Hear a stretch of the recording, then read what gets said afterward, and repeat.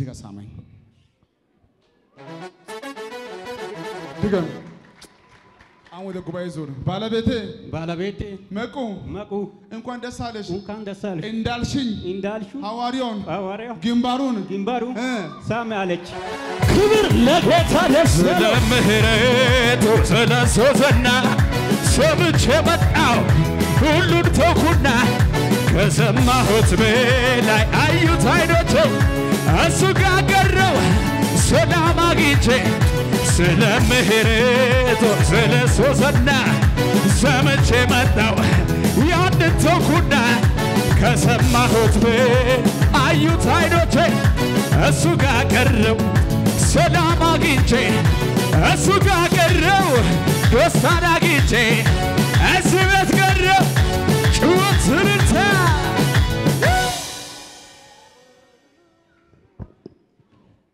ዶክተር ባለቤቱም ባላቃትን በጣም ትወደኛለች። ከተመታው በኋላ አልቅሳለች፣ ጾማለች። ይሄ ጉዳይ ሊሆን ብላለች። አሁን እሱ ወደዚህ ጉባኤ ሲመጣ እኔ ወደ ጉባኤ መሄድ አልቻልኩም፣ ብዙ ጉዳይ አለ አልቻልኩም፣ ግን ሂድና አለችው። እባክህ ጎን እንዳትምና ቀጥታ ሄደህ ግንባሩን ሳምል ብላ በሀደራ መልክ ተልኮ መጣች። እሷ ወንድ ነው ወንድ አይስምም። መቶ ስቁጭ ብሏል። እንኳን ደስ አለሽ። እንኳን ደስ አለሽ። ይኸው ይኸው እኔ ሳልጠይቅ እኔ ሳይጠይቅ ራሱ ብሎኛል። ራሱ ብሎኛል። ግንባሩ ሁለት ስም ያለው ግንባሩ ያ ብቻ አይደለም። ያ ብቻ አይደለም። አንቺ አንተ የማታውቀው እሷና እኔ በጌታ መንፈስ እንገናኛለን። ትጸልያለች፣ ትጸልያለች፣ ትጸልያለች። አንተ ምንም አታውቅም። ልክ አንተ ጠዋት ስትነሳ ለማንኛውም ሂድ፣ እሱ ነቢይ አይደለም ሐዋርያ አይደለም እንደ በራሱ ያገኛል ብላ አውርታ በትንሽ ፌስታል ባቄላ አስራ ወደ ኪሱ ያስገብታለች። አምጣ ቶሎ ብለህ ክብር ክብር ክብር ክብር! ክብር ክብር የክብር የሞገስ አክሊሌ! ኢየሱስ ሆኖ መጣለኝ ሊለውጥ ታሪክ! አይችልም ልቤ በራከሱ እንዴት ይሆንለታል ዘንግ አንድ ላይ ሙሽራ ጌጧን ቆንጆ ዝርግብ ጌጧን ትረሳለች ወይ? ውብ ያደረጋትን እሷ ካረሳት እኔ እንዴት ብዬ ውብ ያደረገኝን? የጌታ የጌታ ልጅ የኢየሱስ ልጅ ኮራ በልጄ። ሃሌሉያ! አሜን። ቁጭ አንዴ። በፊታችሁ ያቆመ ጌታ ነው ምልክ ይሄ ባቄላ ለምን እንዳስገባች አንተ አታውቅም። ትርጉሙ አንተ አታውቅም። አንድ ሁለት ሶስት አራት አምስት ስድስት ሰባት ስምንት ስንት ልጅ አለ? ስምንት ልጅ ይሄ አለ። ባቄላ ቁጥር ስንት ነው? ቁጥር ክብር አለ ወይ ለጌታ ሶስት አራት አምስት ስድስት ሰባት ስምንት ለጌታ ክብር አረ ጩኸት ለጌታ! የጌታ የጌታ ልጅ! የኢየሱስ ልጅ! ኮራ በል እንጂ እሺ እሺ የአባቴ የተግዳው ልጅ! የኢየሱስ ልጅ! ዘና በል እንጂ! ጠላት ይቆስም! ያቀርቀር ቀና ቀና በል! የጌታ ልጅ! እሱን ለፈራ ላከበረው! እስከ ሺህ ትውልድ በረከት ነው። ተማምኖ የለም ዝምታ፣ መርገም ተሰብሯል። ጭወት ለጌታ ስ ስ ስ ስ ስ። ኮራ ዘና ብያለሁ ዘና ብያለሁ ባንተ ክብር ስላይ። ሃሌሉያ። አሜን። እሰይ። እሰይ። እሱ ባቄላውም አልቆጠረም ግን አያውቅም። ብቻ ዝም ብሎ እሱ ቁጭ ያለው እኔና ባለቤት ትሰራለህ፣ ትለፋለህ፣ ትደክማለህ እምቢ ብሏል። በጣም መልካም ሴት ናት። አንተ ሳትሆን ሰው ሳይሆን ጌታ ይመሰክረኛል። መቅደስ መልካም ሴት፣ በጣም ጨዋ ሴት፣ ጌታን የምትፈራ ጌታን የምትወድ ዝም ብላ የምትጸልይ ከስራ በላይ በጸሎት ጊዜ የምታሳልፍ የልቧን የሚያው ጌታ እንዲህ ይላል፣ አንተ የምታውቀው ስምንት ባቄላ ነው። እኔ ጌታ የሚያሳየኝ ስምንት ልጆች ነው። ይሄ ከእሷና ከእኔ ውጭ ሰው ማንም አያውቅም። እሱ ባሏ እኮ ነው፣ አያውቅም ምስጢሩ። ለምን ሳም እንዳለች እሱ አያውቅም በደንብ። ለእሱ ግን ደብቃለች። ይወደዋለሁና እግሩ ተመቶ ነበርና በመፈውሴ ደስ ብሎኛል። እችን ብቻ ብለህ ሌላ ጉዳይ እንዳታወራ ሳምን አለችው። ይሄ ባቄላ እሱ አያውቅም ትርጉሙ። አሁን ጌታ ባቄላውን ቆጥሮ አሳየኝ፣ ልጆቹን አሳየኝ፣ ቤቱን አሳየኝ፣ ህይወቱን አሳየኝ። ቀጥሎ እንዲህ ይሆናል። እስቲ ይሄን ኮት አውልቅልኝ። እስቲ እኔ በርሲ የማይመጥነኝ ስራ። የማይመጠን ስራ? የማይመጥነኝ ስራ። የማይመጠን ስራ? የማይመጥነኝ ስራ። የማይመጠን ስራ? ያዝልኝ።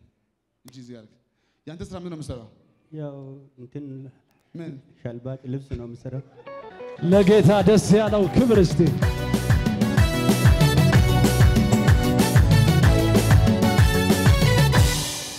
ልጸልይላችሁ። አዎ በአንድ ወር ውስጥ ከማይመጥናችሁ ስራ፣ ከማይመጥናችሁ ቦታ፣ ከማይመጥናችሁ መንደር እግዚአብሔር ወደ መልካም ቦታ ያሻግራችኋል። አሜን ወደ ጥሩ ቦታ ያሻግራችኋል። አሜን እዛ አሮጌ ቦታ ላይ አትገኘም።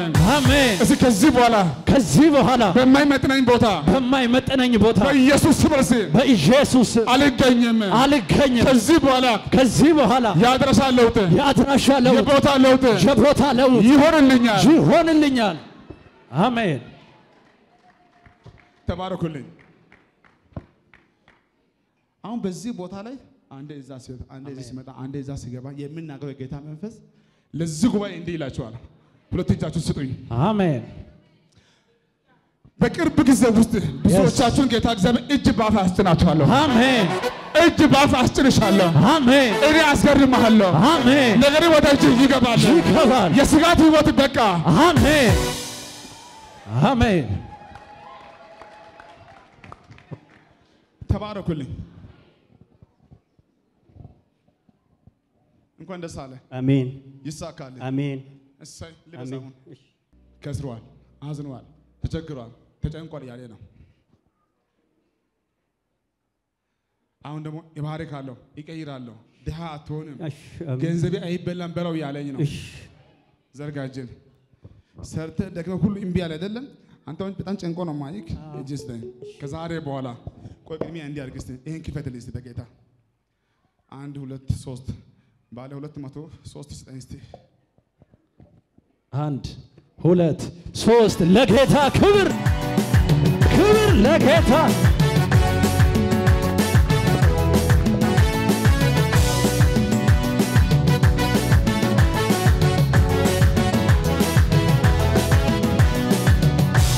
ስለ ምሕረት ስለ እሱ ዝና ሰምቼ መጣሁ ሁሉን ተውኩና ከሰማሁት በላይ አዩት አይኖቼ።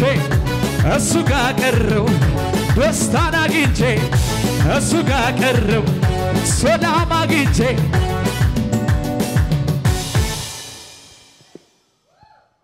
አሜን።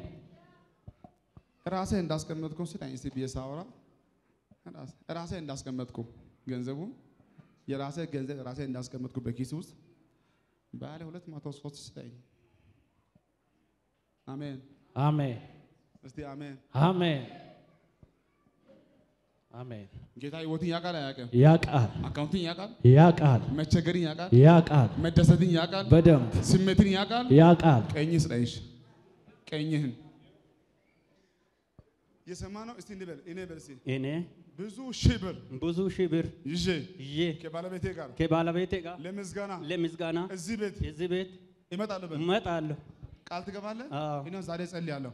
ከዛሬ በኋላ ኪሳራ ይቆማል፣ እሺ ጭንገፋው ይቆማል፣ እሺ ሀብቱ ይመጣሃል። እሺ የገንዘብ መጠን ማወቅ እስከሚያቅትህ ድረስ እሺ አሁን ሁለት መቶ ብዬ ስናገር ለምሳ አይደለም። ህይወቱ ሰው የሚቀረው ከዚህ በኋላ እየሰጠ እየሰጠ እየሰጠ እየሰጠ እየሰጠ እየሰጠ ከዛሬ በኋላ በህይወቱ ምንጩ አይቆምም። አሜን እስኪ ከዛሬ በኋላ በስ ከዛሬ በኋላ ዶክተር ዛሬ አንተ እዚህ እንኳን መጣሃለኝ። አንዴ ቁምልኝ እስቲ እሰይ አንድ ትዝ ይላል። አዋሳ ላይ ገና አዲስ ሆኜ church ሲጀምር እንደ ቦታ በጣም ቆረቆረኝና ማን ነው ለዚህ ቦታ ቤት ስጠይቅ አንተ ተነስተህ ምንጣፍ ሁሉ እየገዛክ እግዚአብሔር እንዲህ ይላል አዲስ አበባ ላይ ህንፃዎች ብሎ ሲናገር አንተ ህንፃ ነበረ እንደ ህንፃ የለም በሰዓቱ። አል- አልነበረም። አንተ አዋሳ ላይ በኮንዶሚኒየም ቤቱ ተከራይተህ ነው ያለው። አዎ አፖስቶ የሰማ ነው። አዋሳ ከተማ ላይ የሆነ ኮሮላ ማኪና ይዞ በኪራይ ቤቱ ነው የሚኖረው። ልክ ነኝ? እውነት ነው። ልጆቹ ውጭ፣ ትዳሩ ውጭ ነው ያለው። በዛ ሰዓት ጌታ እንዲህ አለ አለኝ አዲስ አበባ ላይ አለኝ ኮሌጆች አለኝ ሀብታም አደርጋለሁ አለኝ። ዶክተር እውነት ነው። ለጌታ በደንብ ጨበጨበስ። ሃሌሉያ። እግዚአብሔር ይሰራል። በህይወታችን ውስጥ እግዚአብሔር ይሰራል። ከሜዳም ያነሳናል። እኔ ትንሽ መናገር የምፈልገው ነገር ምንድን ነው? ምንም ነገር ምድረ በዳ ላይ ነበርኩኝ። ሰው አሜሪካ ስለኖረ አለው አይባልም። የማውቀው ያውቃል። ብዙዎቹ ብር ቢኖራቸው ወደ ኢትዮጵያ ሁሉም ሰው ይመጣ ነበር፣ ግን ስላሌላቸው አልመጡም። ግን አሜሪካን ብዙ አመት ኖሬ ያለኝ ከዛም ተመለስኩኝ። ብዙ ብዙ struggle አደረግኩኝ፣ ብዙ ሞከርኩኝ። ዩኤስ ኮሌጅ በሻሸመኔ አንድ ቦታ ላይ ብቻ ነበር ከእሱ ጋር ስንገናኝ። ነገር ግን ልቤ በጣም ክፍት ነው። በጣም አዛኝ ነኝም። መጀመሪያ ቀን በእኔና በሱ መሀል ያለው ልናገርና በግድ ነው ሰዎች ይዘውኝ ወደ እሱ ጋር ያመጡኝ። ግድ የለም ና ታየዋለህ። እኔ አልፈልግም። ነብይ ነው ነው እኔ አልሄድም። በግድ ሰው አንድ ሳምንት ተሞከሩኝ፣ እምቢ አልኩ። ሁለተኛ ሳምንት ተሞከርኩ፣ እምቢ አልኩ። በሶስተኛ ሳምንት ላይ አዲስ ጀምሯል፣ ኑ ናና ኢስት ብለው ከዛም በኋላም ሄድኩኝ። እስቲ ጉድ ላይ ቢ በጣም የሚገርም ነው። ብዙ ሰዎች ሲፈወሱ ያለው ብዙ ትንቢቶችን አይ ነበር። ፋይናሌም እኔም ስራዬን ሁላ ተውኩኝ። አርባ አምስት ቀን ነው አርባ ቀን ኮንፈረንስ ነበር። ጠዋት ይጀመራል። ከሌሊቱ አምስት ሰዓት ስድስት ሰዓት ያልቃል። ቀን ለምሳ አንድ ሰዓት እንወጣለን። ነገር ግን የኔ ስራ ቆሞ እኔ ቁጭ ብዬ እግዚአብሔርን አመልካለሁ። የኔ ታሪክ ተለወጠ።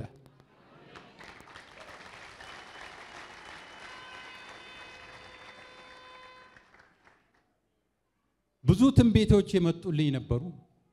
እግዚአብሔር ብዙ ተናገረኝ። ብዙ አንድ መቶ አስራ ሁለት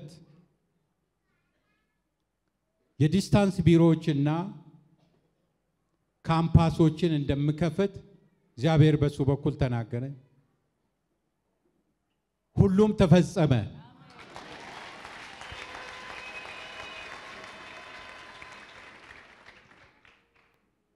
እውነት ነው። አንድ ኮሮላ ነበረኝ። ያቺ ኮሮላዋ ሌላ መኪና ፍጹም ሰዎችን የማስገርም ቆንጆ መኪና አዲስ መኪና ትገዛለህ ብሎ በሱ በኩል እግዚአብሔር ተናገረኝ። V8 መኪና ገዛ።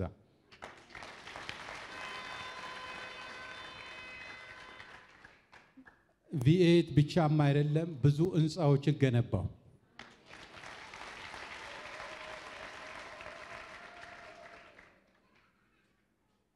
እግዚአብሔር ሲባርከኝ እኔም ለእግዚአብሔር ቤት መባረኬን ወደኋላ አልልም። እግዚአብሔር ዘንብዬ ብቻ ያገኘሁት ወደ- ወደ ራሴ ብቻ ሳይሆን እግዚአብሔርን ቤት አገለግልበታለሁ። ብዙውን ጊዜ የተቸገሩትን ሰዎችንም ስረዳ፣ ብዙ የተራቡትንም ሰዎችን ስረዳ በየቦታው ላይ ረዳለሁኝ፣ አደርጋለሁኝ የተቸገሩትን ብዙ ቦታ ላይ። ነገር ግን እግዚአብሔር በረከቴን አላቆመውም፣ እየበዛ ነው የመጣው።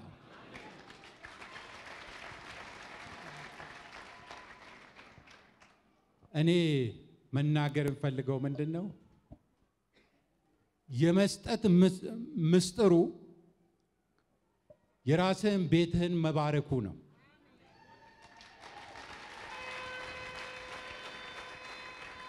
ጥቂ- ጥቂቱን ነው የምለው። ሰዎች ብር ሊሰበስቡ ነው፣ ብር ነቢያቶች እንደዚህ ያደርጉ ነው።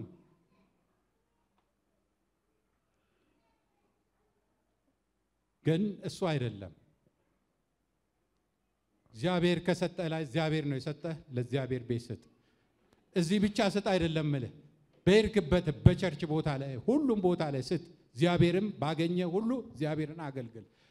እኔ ውስጤ የነበረው የእኔ ቤት ሁሉም እግዚአብሔርን ያገልግል ነው። እግዚአብሔር ይመስገን። ሃሌሉያ ጌታ ይባረክ።